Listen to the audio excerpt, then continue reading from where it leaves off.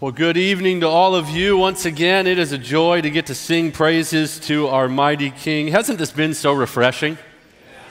I was talking with one of the gentlemen earlier, and I said, No offense to any conference out there or that has been. There's been a lot of good ones, and I am all for uh, dealing with tough issues, calling out false teaching. Sometimes you got to have a conference and get in the trenches, and things get a little messy, and uh, smoke flies and sparks fly and Twitter flies and everything else after and during the conference. But when I saw the theme for this conference, I just remember thinking, oh, that's got to be good for the soul. Amen? Just Christ. You go home, and instead of feeling like you were in the middle of a, a mudslinging war, you go home and you feel purified and encouraged and full of joy. Uh, there are times for battle. We know this. Uh, but there are moments of reprieve where you drink from the well of Christ. And that has been this. Uh, I had plans, you know, during certain breaks to maybe rest or study or do other things. And I felt compelled each and every session. I just found myself glued to the next one. At one point, I went to the back and I said, I'm going to study and get a few things done this hour. I've got a shepherd, I've got to call home. And eventually I heard one of the men on the television keep going, and I thought, oh, I got to listen to this session too. It's too good. It's been so good. In this final uh, session for today, my assignment is to preach Christ our life. And so I'd like you to turn in your Bibles to the book of Ephesians, chapter 4. We're going to be in verses 17 to 24. And we'll read together in just a moment. I selected this text because as I prayed and thought about what might be fitting for Christ our life, I began to think about our life before Christ, and mine in particular, and the way that things were before Christ took over, before he changed my heart. I'm sure you could think about the same thing and go down memory lane, not to relish too much in your sin or, or your BC days before Christ, but it is good to remember where he has brought you from. And Paul the Apostle aims to help the Ephesians meditate on their life in Christ, live according to their new life in Christ.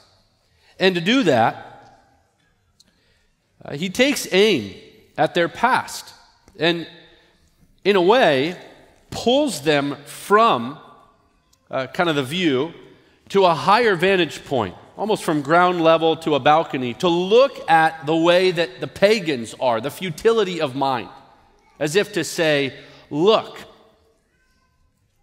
that used to be you until Christ became your life. Uh, let's read together in Ephesians chapter 4, from verses 17 to 24, and then we'll pray and jump in.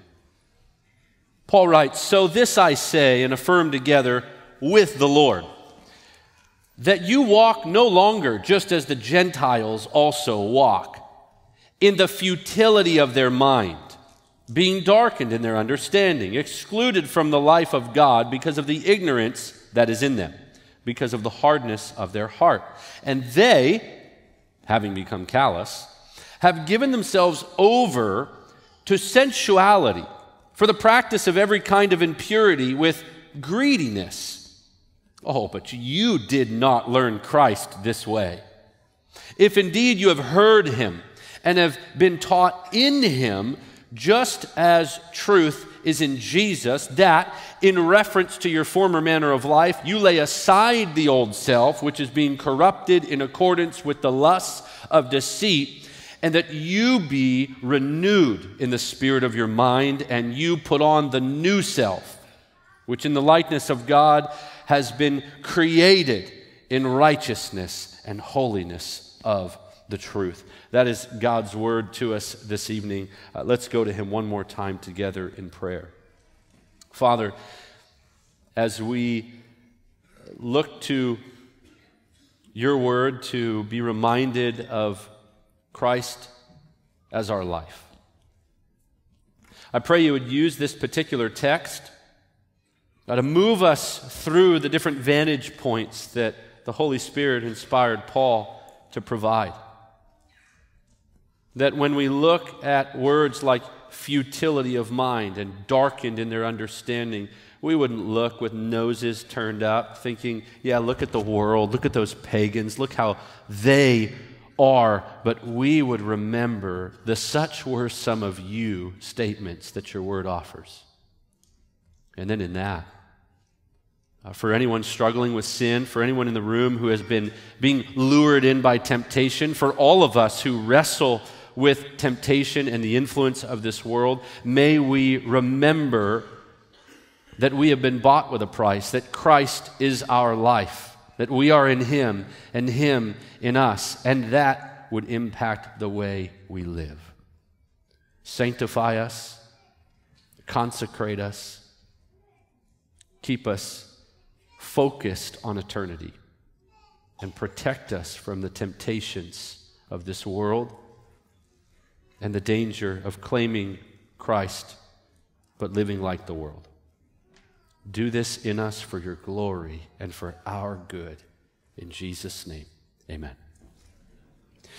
If you profess to be a Christian tonight, then you likely fall into one of these two categories. There are those of you who frequently fall back into old habits of habitual sin or uh, old besetting sins that seem to keep creeping up in various forms. I know if you think about when the Lord saves you, you will notice a pattern of certain things that just go away. I talk to uh, people all the time who were alcoholics and then they get saved, or they were on drugs and they get saved, or they had a, a real foul mouth and they get saved, or they were uh, falling into rampant sexual immorality and they get saved. And those things go away for them. They say, I just don't have a taste for it anymore. I don't want to live that way anymore. I want new friends. I have no desire for these things.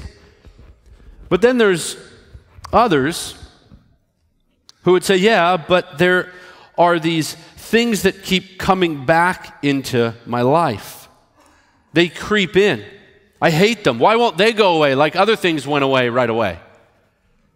And there'll be others of you in the room who are less prone to fall into habits of worldly sin, and yet no one is perfect. And sin still comes and knocks at your door, and there are those moments where us, you, all of us, in our foolishness, in our weakness, in our failings, open the door to sin.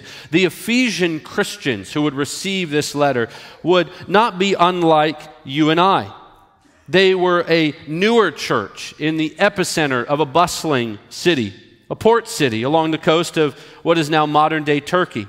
The whole scene around Ephesus would have been filled with captivating worldliness. They would have enjoyed world class sports, engaging entertainment, wild women, pagan temple worship, thriving business, and certainly too much wine because Paul has to deal with that in the book of Ephesians as well. This means that as Jesus saves people into his church, they didn't exactly have everything figured out. They didn't mature right away, as some denominations in uh, Christendom will say that you can have entire or perfect sanctification. I have uh, some people in my life I dialogue with, Nazarenes, and they're always talking about their, their perfect sanctification. I say, How's that going for you? Uh, there's some word of faith preachers that'll tell you the same thing. You know, I haven't sinned in 12 years, I've really reached it. You can too. And there's always a price tag attached to it or some weird school you have to pay tuition for. And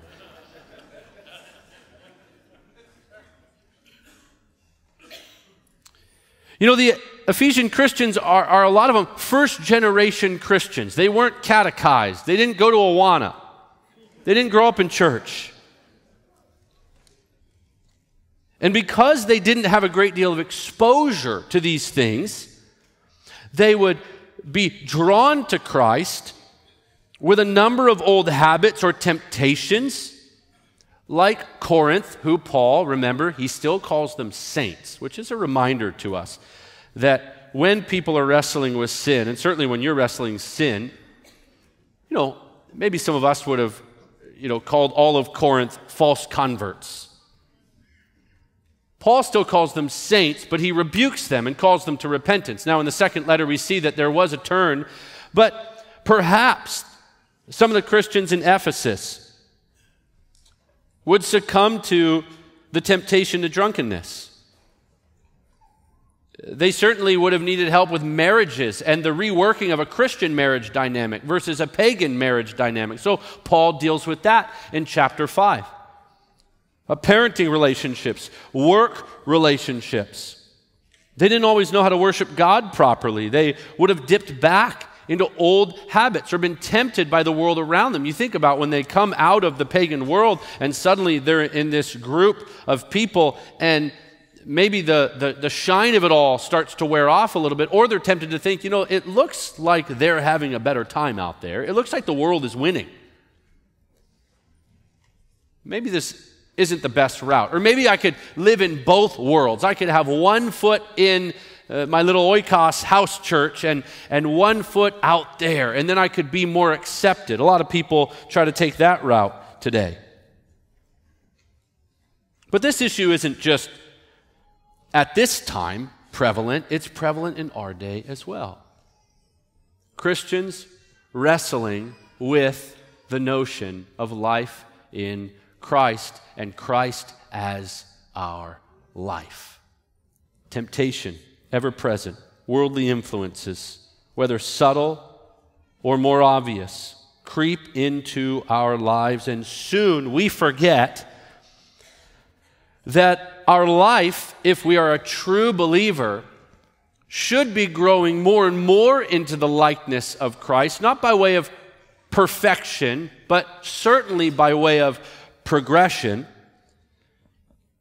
We are prone to earthly pursuits, overshadowing eternal perspective. We all, I don't care who you are and how long you've been saved, we all need a renewal of the mind and a refreshing perspective from the Word of God. That when Christ is our life, our life will look like Christ. And that's where we pick things up as Paul contrasts very two different realities. And these will be helpful for us under two different headings. I want us to consider the old life without Christ and then we'll look at the new life with Christ.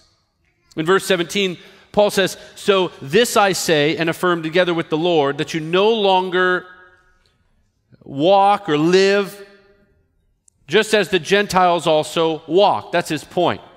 He's come off three chapters of gospel saturated doctrine. He's given them all the truth. You are chosen, you are loved, you are redeemed. There is an inheritance waiting for you. There is a pledge through the Holy Spirit in chapters uh, chapter 1 verses 13 and 14. The Holy Spirit's been given to you. He is a seal. In other words, you are branded, you are marked. God's the, the truly saved will stay saved. You're not going anywhere. He's given them all the glorious truths about life in the church and the mystery now revealed being one in Christ that he's building it and he's built it Ephesians 2:20 on the foundation of the prophets and the apostles and Christ is the cornerstone and now you being a holy temple unto God you're being built up atop that Side note, one of the reasons we don't need any more apostles, you don't want to be digging them up and redoing them. You don't need to redo a foundation laid by Christ. He's the cornerstone and we're being built up. So, this is a, a group that understands the truth of the gospel. All of it has been laid clear before them, and now they got to live it. And so, Paul calls them to that. I want you to understand that this uh, portion of the text has a very serious tone. Uh, Paul has a number of words at his disposal, but the word say, it's like I declare, it's a solemn tone. And he says, with the Lord. In other words, when I bring this to you, dear Christians, I've brought someone to the table with me. You know, my wife and I do this when we have uh, loving marital debates. We have these fun little arguments. You know what I'm talking about? Where you're convinced you're right, man, but she's convinced she's right. You got a stalemate. Then you start to hear the wisdom of older men saying, just say she's right. Say yes, dear. And so we have, in the midst of our marriage, come up with a system for settling the score. If she brings something or I bring something, one of us may say, hmm, that sounds interesting. Usually it's, hmm, that sounds dogmatic. You got any friends you can bring to the table on that one? And so what we're looking for is usually dead guys. She says, Yeah, my friend Charles is with me on this one. You might know him as Spurgeon. I might come to her with something and say, Yeah, my sister Liz. You might know her. Elisabeth Elliot. You know, you bring a friend to the table. Well, this is Paul coming to them with strong commands and clear, exhortative, imperative directives. And what he does is he says, I, I say this and I affirm it together with the Lord. Christ is calling you to walk no longer as the Gentiles walk. The idea of walk. You see this in uh, Galatians 5 as well, in verse 16, when he says, Walk by the Spirit, and you will no longer carry out the deeds of the flesh. The word walk, Greek word peripateo, means to go about your business, to be busy about, to be here, there, and everywhere doing this thing. And in Galatians 5, he says, walk by the Spirit means to be preoccupied, obsessed with, wrapped up in the things of the Spirit, what the Holy Spirit would direct you to do, which is, of course, going to be in line with the Word of God. He's saying that you no longer walk, go about your life the old way, the worldly way. And I wonder how many people in churches think, you know, God just loves me. He understands me. You know, He's good with me living this way. He gets it. God gets me. You see the little commercials during all the football games? He gets us. I'm good the way I am. I don't need to change. Come as you are. It's been taken uh, way too far. Yeah, okay. God loves you just the way you are. Yep, He died for you and loved you while you were still yet a sinner, but He loves you too much to leave you the same way you were. He always changes you. Grace is not a license to sin, it, it's transformative. That's how you really can know, by the way, if you're saved. Are you changing? It might be agonizingly slow, but the Lord will do His work. Some people in our life, they wish it were faster. They're praying for it to be faster. That's why God gives us patience for one another and love for one another, which is also in chapter 5 when he says, Walk in love, just as Christ also loved you. Hear the call is not just to say you believe and say God loves you, but to live in a way that reflects true love from Him and for Him, which will always lead to action. Paul comes to this point knowing he has been clear about salvation, security, and sanctification. They're a part of the body of Christ. They've been given these amazing gifts. They're blessed with spiritual blessing. So now he brings in the strong words Hey, he bought you. Now live like he owns you. And verse 17 continues in the futility of their mind. He's given them a, a, a glimpse back, perhaps convicting, though, for those who were uh, going back into those cycles of sin. The word futility means emptiness, purposelessness. This is a way of thinking that resembles a, a cul de sac. You know those people, they just round and round. Maybe that's you now, or it was you. Down a dead end road, and round and round you go. This is the worldly way of living, it's a revolving door. He says in verse 18, then, being darkened in their understanding, excluded from the life of God. Now, even though the Gentiles had many idols, and their many philosophers seemed impressive, all of their understanding was darkened. Their best hypothesis was nothing more than trying to navigate a deep, dark cave where there is no light, and they strike a single match and think they'll know where to go.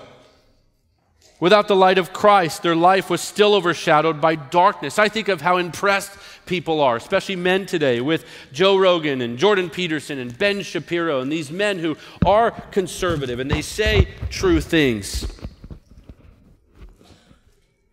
For certain, they're fascinating. But they, like the philosophers of the Gentiles, are clever, they're intriguing, they're devoted to seeking wisdom, uh, but they're always looking for something new. They're still lost in a dark cave unless they have Christ. That's the number one thing that they need, the number one person. Romans 1:22 says these are those who professing to be wise they became fools. This is so many people in our world today. They're excluded from the life of God. It means they're alienated from God. And think about how opposite that is from the Christian who's considered an alien. We're considered exiles. That's what Peter calls Christians because our citizenship is in heaven and we belong to Christ. So we don't exactly fit in in this world all the time. We're kind of weird and we're supposed to be. Well, these Gentiles, they're, they're right at home in the world. They fit in perfectly, like a, a glove or a puzzle piece. You look at the world and the Gentiles fit in just as they ought to. Well, that makes them an alien to God. They're foreign, they don't fit. They're outside of His will, they're outside of His kingdom. And there's two reasons that Paul gives for this. You look at it first there, he says, because of the ignorance that is in them. And then he says, because of the hardness of heart. And, you know, you reread that and, and we might first think, oh, they're just ignorant. They don't have the right information. We need to just tell them. But he's not referring to ignorantly lost people who have never really heard the gospel. Look at the context surrounding the statements he's making here. Hardness of heart, there's callous. Look at verse 19. And they have become callous and then you keep going in verse 19. They've given themselves over to sensuality for the practice of every kind of impurity with greediness. So there's a progression here. They're culpable rejectors of Christ, lovers of the world. Their ignorance is a willful ignorance. They're enjoying their life. They have a hardness of heart. They think they know. It's shades of Romans 1 being given over. The hardness of heart there, the idea of being obstinate, stubborn in their ways. It is good for you and I to look back on our life and reflect on those moments when we were so stubborn and obstinate towards the gospel. If anything, it brings a, a, humility and a gratitude and a thanksgiving. It brings a remembrance. You think about the warnings to the churches in the book of Revelation, in Revelation 2, and you think about the warning to go back to first love. It's important we make the connection that that's Ephesus. In all of Scripture, particularly the New Testament, besides Israel in the Old Testament, who got more warnings than your rebellious child over the course of their entire life. Perhaps Ephesus got the most opportunity, and they had some of the best leaders Paul, Timothy, John. I mean, how, how many more awesome church leaders do you need? They should have had a string of just faithful legacies after faithful legacies and their children and children and children. And they're getting the warning to go back to what? Their first love. I think there's a temptation to forget and, and to get caught in the, the cruise control Christianity, whether that's a, a bit of a pompous knowledge, like I know doctrine, we've got theology, and it can become this religious exercise. Or those who just think, ah, you know, I'm fine. I prayed the prayer. I'm good. I punched my ticket. I'm set. Once saved, always saved. I remember. I walked that aisle. I prayed the prayer. He loves me. No matter what, he, he loves me. And they love those songs where he, he loves them and he loves them so much and he's chasing them down. And his love is so reckless. God's like a bull in a china shop, just running into everything to get to you. He's a Jesus with his fingers crossed, just hoping, like the kid getting picked last in dodgeball or baseball, just, oh, I hope they pick me. This is a blasphemous view of Christ. His blood accomplishes exactly what it was shed for. His death wasn't wasted. Well, there's people who view him that way. In all of this, it's good to remember, isn't it? That if it wasn't for him, you wouldn't be saved. If it wasn't for his love, you wouldn't be loved. If it wasn't for his mercy on you to condescend, to become truly man, to die in your place, just to know you, what a privilege. And suddenly, we're humbled because we look at these phrases the ignorance, the hardness of their heart, uh, having become callous, giving themselves over to sensuality, the practice that's a lifestyle of every impurity and greed. What other response would it invoke but worship if you're saved and repentance if you're not? That Jesus would come and call me to himself. These Gentiles are know it alls in their own eyes, and yet they're blind to their great need for Christ.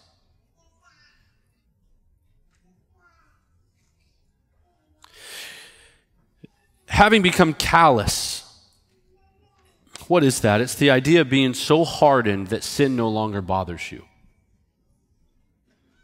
And we need to be careful in our own lives to search our hearts. Are there things in your life that you justify? Are there things in your life that used to bother you, used to feel a, a conviction over them, and they no longer do? If Christ is your life, you ought to be asking those kinds of questions. Lord, where might you be calling me to a deeper level of awareness? Uh, where might you be bringing greater degrees of sensitivity to sin? Where might the Holy Spirit be chiseling away at my calloused heart my sinful justifications for that behavior and those actions and those words? Where are you calling me to examine? What area of my life? And then you pray. Same prayer that Jesus prayed in Luke 22 42. Your will be done. Have your way. Do it through your word, through the preaching of your word, through people in my life. Don't let me be one of those who have given themselves over to sensuality and for the practice of every kind of impurity with greediness. And you know, that's how sin works. It lures you in again and again and again. Sin beckons even the believer. It's okay, it's not a big deal. Everybody sins. It's echoes of the father of lies himself in the garden with Eve. Did God really say, Surely you won't die? This has been the assault on mankind since the beginning. In 1 Timothy 4 2, Paul mentions lying hypocrites who have, quote, seared their own consciences as with a branding iron. Why do you think the Bible makes such a big deal about the fear of the Lord? Time and time and time again, the fear of the Lord. The fear of the Lord is the beginning of wisdom. The fear of the Lord is what should grip you when you sin. You will sin. I will sin. But do you fear the Lord? Is there a weightiness to it? Do you hate it? Or do you excuse it? Do you repent of it and confess it before the Lord with immediacy and an urgency that I, you want to be right with Him in every way? Many older, wiser men have said the more you fear the Lord, the less room there is for sin in your life. It, it can't kind of take residence and, and camp out. It can't sign a long term lease and just settle down and be comfortable. Sin should be in your life. Like those restaurants where you get the feeling they're trying to get rid of you. You sit down. Can I get you started on something? You guys ready to order? You get your food. You ordered an appetizer, a bowl of soup, or some bread, or what have you, and you're, you're just sitting down to enjoy it, but they already put the entree right next to it. You get the hint. Can I get you dessert as well? We can get all out here at once. Sure, why not? Put it all on the table. I'll be gone in five minutes. They want to rotate you through. This is how you should treat sin in your life. It will come to your door. You will wrestle. You will stumble. James says we all stumble in various ways. Nobody is perfect. But the believer does not give themselves over to it, to practice it, and to enjoy it, and to live a lifestyle of it. The unbeliever doesn't have this healthy view of sin and life and Christ. They don't care what God thinks. They're only concerned with their pleasures and their appetite. Paul lists three terms to give the Ephesians a picture of what he means. You can see him there sensuality. This is a behavior that is typically related to sexual excess. Uh, it's also called licentiousness in other New Testament passages. This is immorality in that sense. But just to make sure he covers all of it, he says, and every kind of impurity. It's a wide range of filth. It describes the way that pagans live. It also describes the way that God views sin, impurity, filth, wickedness. It's a recipe for disaster when left unchecked and unconfessed. It's completely against his will. And the Gentiles, they're callous towards God and their sin, they don't care. He says greediness. It's the idea of always wanting more. Remember the famous question asked to Rockefeller how much, how much is enough? Just one more dollar. I always want more. How much sin is enough? The unbeliever says, just, just a little bit more. I just want to experience this. It's like a man I was speaking to not long ago. I, I, I was sharing the gospel with him, and I pleaded with him to place his faith in Christ. And I asked him a series of questions, and he acknowledged it, he understood it, he agreed with me on all of it. And so I said, then, then be saved. Today's the day of salvation. Give your life to Jesus. You're telling me you understand everything I said. Yes. You're telling me you agree that He's the Son of the living God, the only Savior that could possibly cleanse you of your sins. Yes. That you need to repent, change your mind, follow Him. Yes. Then come to Christ. He says, I can't yet. So why not? He said, There's, there's, there's things I got to do. And I know that if I come to Christ right now, He's going to change that. This is the way the unbeliever operates. Jesus, in all of His goodness, in all of His grace, in all of His mercy, in the glory and beauty of the cross, is still a stumbling block of inconvenience for the unbeliever who loves their sin. This is the essence of total depravity, the Gentile way of life.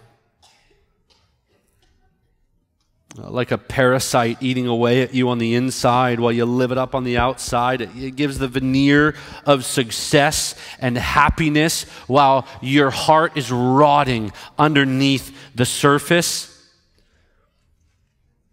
Uh, right now, perhaps even in this very room, there's someone would say, Yep, that's me. I'm filled with this Gentile way of living. I know it's futile. Others, you're more self deceived. You think you're fine, but you're not. There's a warning here to remember Christ and what he did for you when you were just like this. No matter who you are, no matter how sinful you think you've been or, or uh, how much you know. You know, sometimes the hardest people to reach are the people who think they're saved. And here, you see that there are people who are just shut off but when Christ truly becomes our life, you will reject that old way. You begin to see with 2020 vision that there's no purpose in it. It's a road that leads to hell, not heaven. And you begin to see that lying to yourself may offer you a few more seconds of relief from that conscience that tells you what you're doing is wrong, which in fact is the Holy Spirit who John says in John 16 will convict the world. You know, everybody experiences some level of the Holy Spirit's work in the world today. Only the believer gets baptized, only the believer gets filled and sealed and gifted. But there are so many people that experience what Jesus described in John 16 the conviction of the Holy Spirit. It is that uncomfortable moment where at the sound of the gospel and the call to repent, they suppress the truth in unrighteousness like Romans 1:18 says. But the believer says guilty. I need him. I can't live without him. I can't go to heaven without him. I'm dying inside. My heart has grown cold, and only that one, Christ, can change me. The believer sees that the only solution is to abandon the depraved life the dead end road, the fake Christianity, the self righteousness, and the lofty view of human philosophy, and trade it all in and turn to embrace a whole new way of thinking and a whole new way of living in Jesus Christ. That is what so many of the Ephesian Christians had experienced. And so Paul has reminded them of the futile way of life, called out the Gentile way of life as a dead end road and what they were and what they should be careful of in avoiding, and then makes the turn to our second heading the new life in Christ. Look at verse 20. But you did not learn Christ in this way. You picture him saying, You, you beloved Ephesians, you know better. I've told you. I spent time with you. I stood there on the docks with the elders, and they cried and wept, and we embraced, and I warned them that savage wolves would come in from the inside. But I told them to shepherd the flock of God.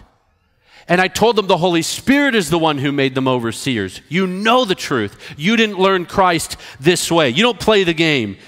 You don't keep one foot in the world and try to keep one foot in the church.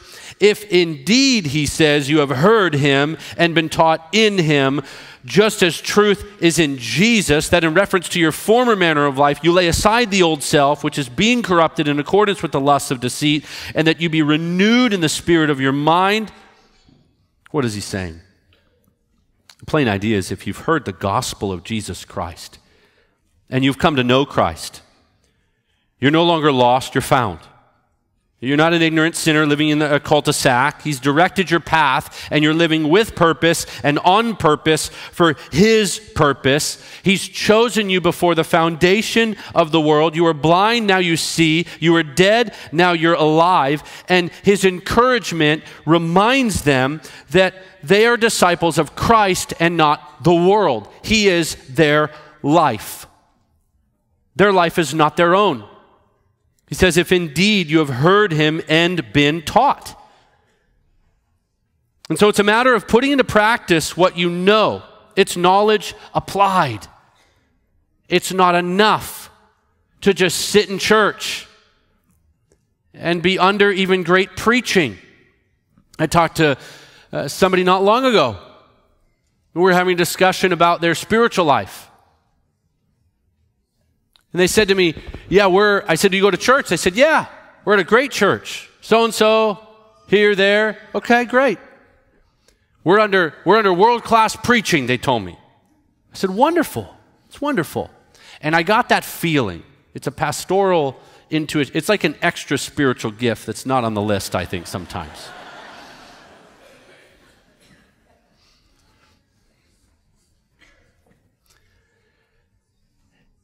And you can feel the tension on their end. It's like your kid when you catch them and their voice goes, Yeah, yeah, yeah, no, yeah, yeah, yeah. And you go, I, you're, There's something going on here. And they've, they've thrown all of the, the flares out. So I, I, I get distracted by them. You're under world class preaching. Wow. Maybe I'll change the topic. You had a good church. Awesome. And I said, are you being discipled? Well, no, you know, not really. I, it's, you know, are you, are you attending all the time? Well, it's hard. You know, we got a lot going on in our life, but, you know, we, we catch it online, and, but man, you know, it's, and, and you start digging deeper, and you realize that, I don't know the number, but on any given week in America, there are myriad of Christians who are content with saying they go to church somewhere. You know, I, I came out of madness, and so I had no clue what the SBC was. Some would say it was from madness to madness, but without the heresy sometimes. But no offense. I went to an SBC seminary at first, so we're, we're good. Um, and my undergrad, too. And I didn't know what a Southern Baptist was or the convention or anything like that. And I remember a friend of mine explaining to me how church worked. I said, So, how many people are at your church? He said, Well, what do you mean? Well, he had a, he was Southern. He said, Well, what do you mean by that, brother? I said, well, How many people go to your church? He said, Well, you, it depends how many are on the rolls or how many are in the pews. And I said, What does that mean? I need a translator. you know what membership is? No. Apparently, you can have 1,200 people on the member rolls. But you show up on a Sunday and there's like 212 in the seats.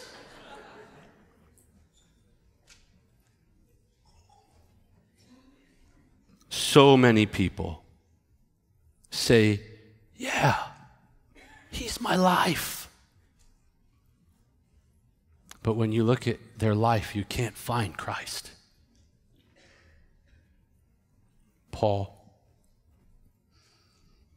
says, if you've been taught, if you've heard, true disciples are all in. They don't straddle the line of worldliness and claim a little Jesus on the side. Verse 22, he says, in reference to your former manner of life, you lay aside the old self that's being corrupted in accordance with the lusts of deceit. He's saying there's no value in a worldly lifestyle. None. There's not one redeeming quality. Like a broken clock that's right twice a day, you wouldn't keep using it just because it had two times in a 24 hour period that it was right. So, too, you don't need to hold on to any aspect of your old corrupted life. It's all of Christ for all of your life every area. There's no compartmentalized Christianity, you know, like the Titanic, thinking you won't sink. You'll just close off different compartments. Eventually, your life is going under. It's all of it for Him. And when Christ is your life, it changes the way you live and it changes the way you think. That's why He says, and be renewed in the spirit of your mind. Notice that before verse 24, when they're commanded to put on the new self, he says, Be renewed in your mind. In other words, you can't have a changed life until you have a changed mind. Because the way you think dictates the way you live. So you've got to get here first. That's why spiritual warfare. It's not, you know, kicking over rocks and looking for the devil around every corner and rebuking him out of your morning traffic and because the coffee maker didn't turn on and I rebuke you, devil. You know, not today, Satan, and all this weird stuff people say and put on mugs and bumper stickers. Like everything is spiritual warfare now. Spiritual warfare is a battle for your mind. It's through lies and deception, it's through deceitful schemes, principalities and powers of darkness working through other means than you might think.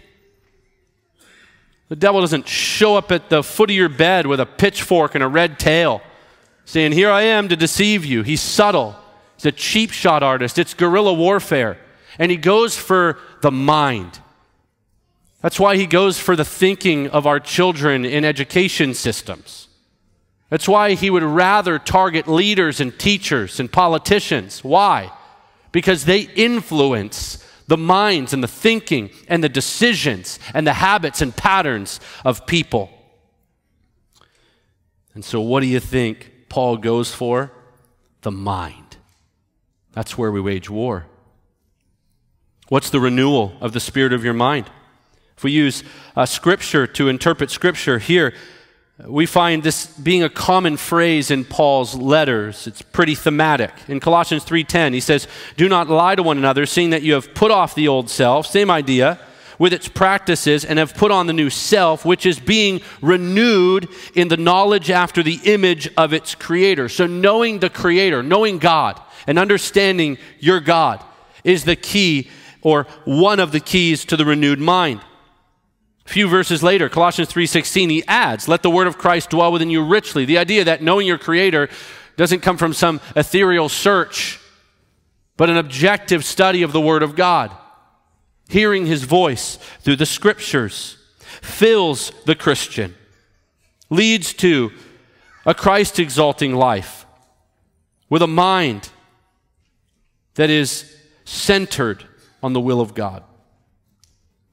And prior to both of those statements in Colossians 3:10 and, and verse 3 uh, ver, chapter 3 verse 16, right in the beginning of chapter 3 verses 1 to 4, Paul says, "Therefore if you've been raised up with Christ, so if you're alive in him, keep seeking the things that are above, where Christ is, seated at the right hand of God. Set your mind on the things above, not on the things that are on the earth. For what? You could say because it translates because you've died. You don't live anymore but your life is hidden in Christ or with Christ in God. And he says, When Christ, who is our life, is revealed, then you also will be revealed with him in glory. In other words, if you're truly saved, you set your mind on eternal things, not the things of this world. You want to have an impact while you're here, yes but only as an ambassador, only as far as you can make an impact for who? Christ, not yourself. You're not here to build your kingdom, you're here to build His. And so the idea is everything you do centers on Christ, and everything you have centers on Christ. And if Christ is your life, it changes everything. The way you view purpose. Why are you here? Your life is not your own. You've been bought with a price, and so you glorify Him with your body the way you view money. It's not your money, it's His money. We're just the managers. He's the God who owns a cattle on a thousand hills. He owns it all. He just lends it to you for a little while as a steward to use it for His glory. And so you even see what he gives, like the book of Deuteronomy, when Israel's getting prideful, and God reminds him, It's I who gave you the ability to earn wealth. There's no such thing as a self made Christian. No, everything you have, from your salvation, the spiritual resources, to your material possessions, your physical blessings from God, all of it belongs to Him. So, all of life for all of Christ means you're more interested in your eternal portfolio than you are in your earthly one. And the question gets convicting for all of us. Whatever your level of wealth today, you are looking at what God has given and saying, How might I steward this for your glory? What do you want me to do? And you go to the Word and you do it. It changes the way you view the church. It's not a Sunday activity. People say, I, I, I really love Jesus, I just don't like people.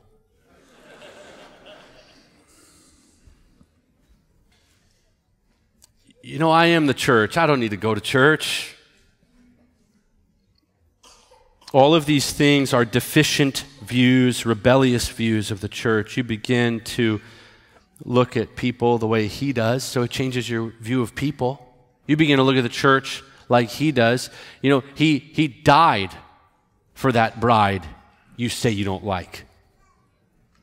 You want to love it the way he loves it. Don't say you love him if you don't love what he loves. You tell me, Costi, I, I love you, I just hate your wife. We're going to have a problem. You love what he loves. You're all in on what he gave his life for. It'll change the way you view sin. Sin is no longer uh, just a, a, a little struggle. You think about the way that a lot of today's kind of pop Christian influencers talk about sin. In my particular area, I don't know how it is for you, but Andy Stanley has a lot of influence on people. And so he coaches a lot of pastors in my area in Phoenix because we have a lot of mega churches. And he seems to know how to build uh, big circuses under the glory of man. And so he comes and coaches them on how to herd more people into the building. But he underestimated the power of the Holy Spirit. And some of those men started to feel convicted about the way he was talking about sin. See, even they knew this has gone a little too far.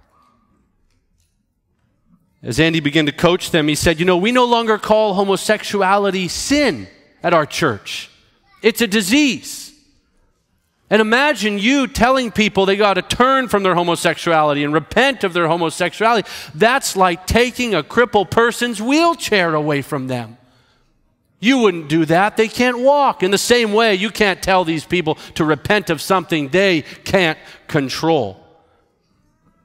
When Christ takes over, it doesn't matter what the church growth gurus say, you should say about sin.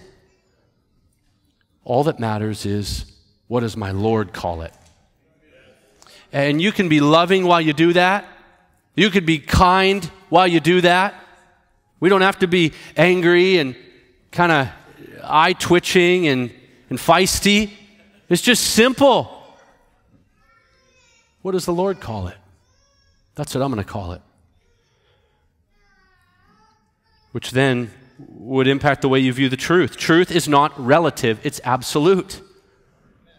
And then it impacts the way you view emotions. Your feelings don't drive the bus, your faith does. Your trust in the Lord. You've thrown yourself upon Him completely and wholly. All feelings, all emotions, all experiences are filtered through the Word of Christ.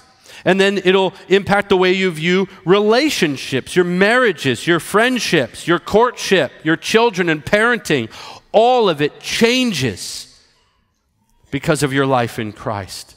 And isn't He good to do that and work through you and others? It'll change the way you view your work. Your job now can become a, a, sacred act of worship unto God. You know, worship isn't just in the building on Sunday. All of life is worship for the Christian. Worship is a lifestyle. You going to work under the glory of God. You being a light wherever He's put you under the glory of God. Everything you do, all of life is worship unto your Creator. When Christ is your life, that is how we live. Everything is His. And then it'll impact the way you view the future, the way you hope, the way you suffer, the unwavering spirit of the Christian who knows who they belong to. Paul is the premier example of this to them and to us. Philippians 1:21, to live is Christ, to die is gain. In other words, while I'm here, it's all in and all out for Christ cuz he is my life. But if I go to be with him, what could be better? That was the whole point. He's my treasure. Heaven wouldn't be heaven without him. I want to be with him. Wherever he is, that's where I want to be because he's everything. This is Paul's way of life. Recently, my, my seven year old daughter, who's been asking big questions in life, at very inconvenient times, by the way, but I'll take it. We're having some father daughter time one evening, and just recently, this is about a week ago, and she said, Daddy, when people die, like if you die, it gets so personal. I liked it when it was people. It's kind of a good thing. I said, Is it now? How? And she said, Well, whether it's you or even me, if we die, even though everybody here is sad, and maybe, you know, you would miss me or, or I would miss you, and we wouldn't have father daughter dates now, I would be with Jesus. And so the other person isn't sad because they're with Jesus. And really, we could be happy because you're with Jesus. So it's really not that bad. And I thought, if only we could just stay this way. you know, the book of Romans has good wisdom mourn with those who mourn. Book of Ecclesiastes tells us there's a time to mourn, but when your life is all wrapped up in Christ, you know, even death, where's your sting? Even the final breath while it's filled with tears because we are given these relationships and we do love each other and we are supposed to love each other. And, and, these are good gifts. And it is tragic and sad when certain things happen whether it be children the elderly a spouse a, a parent it, it doesn't matter. The pain of loss is real but the hope for the christian is an even greater reality. Unbelievers fear death I remember growing up, we weren't allowed to talk about death in my house. If you said, but what if someone were to die? The whole table would, in Jesus' name, there'll be no death in this house. We pray a hedge of protection around this house in Jesus' mighty name. Get the oil. We're going to anoint this place with oil. Nothing's going to touch this house. The spirit of death's not coming over this house in Jesus' name. Ah, and they all start doing the TBN stuff. And, and you're, you're thinking, why can't we talk about death? And I, I love my family. I, I want them to know the truth and, and love the Lord. But there, in the Word of Faith movement, in the prosperity gospel, in circles where there is rampant unbelief, whatever they say on TV or on YouTube or wherever, let me tell you, people who don't know the true gospel, they know it in their heart of hearts that they're not saved. They're so scared of death. They're trying to hold on. But when your life is all wrapped up in Christ, you say, like many believers do, I'm ready to go. Whenever He's ready for me, I'm ready for Him. Why? Because to live is Christ, but to die is gain. And so, do you say you love Him? Do you say you know Him? You say you're His disciple? Then all of your life should look like Him. And your mind is to be renewed. And the true believer is always in a state of constant renewal. That's what so many of these imperative verbs are. They're, they're present active verbs in which the, the Christian is always being renewed. You wake up each morning needing the, the filling of the Holy Spirit and the direction of His Word and the intercessory prayer ministry of Christ on your behalf. Every day, you and I need Him. And in that, we can even find that life in Christ is filled with a dependency and a recognition that you and I are never there on our own strength. We've never arrived. We need Him every hour. We need Him. And with a transformed heart and a renewed mind, verse 24 says to put on the new self, which is in the likeness of God and has been created in righteousness and the holiness of truth. This is where holiness is found. You want to be more righteous, you want to be more holy. It doesn't come from a browbeating command. Stop doing that. Quit being so sinful. You wretched Christian, you. It's be renewed in your mind. Love him more than anything. You know, affection is where change begins. So, do you love him? Is he everything to you? Can you live a day without caring about what he thinks, about what he wants? Uh, for Paul, Galatians 2:20, I've been crucified with Christ. It's no longer I who live, but Christ who lives in me. And the life I now live in the flesh, I live by faith in the Son of God who loved me and gave himself up for me. The new self is in the likeness of God in righteousness and holiness of the truth. And understand this fully, we, we need to remember we are created in the image of God, and then sin ruined the perfection of God's creation and corrupted the human race. And God, who is holy, deals with sin in only one way death. And all of mankind would be forever condemned, but God, being rich in mercy and love, sent his son Jesus to die in the place of sinners. He was the perfect and sinless sacrifice to redeem God's people. He fully took the wrath of God upon himself, satisfying the justice of God. And so when you place your faith in Him as Savior, you then receive His righteousness. And so when God the Father looks at you, He does not see a filthy, wretched sinner, but for those who are in Christ, He sees the righteousness of His Son imputed to you. That kind of confidence is only available to those who have placed their faith in Christ. So, how do you know if Christ is your life?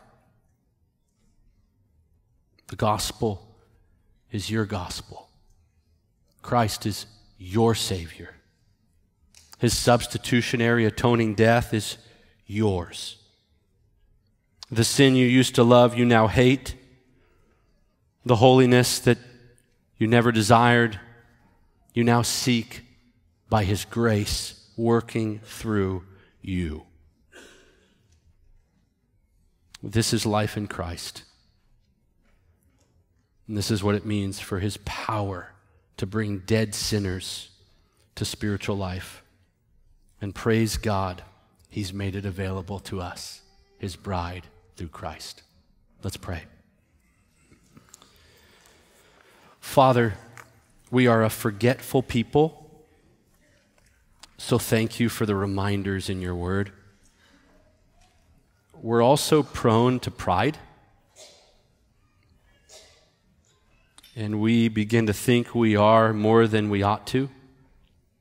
And your word brings us uh, back to a place of renewal and remembrance that we're nothing without you. And that we're here because of you and ultimately for you. Help us to remember Christ, to relish in Christ, and to live all of life for Christ. Thank you for your mercy and your love upon us, your chosen people, that we once were sinners, and now you call us saints, all because of Christ. We pray this in the name of Jesus. Amen.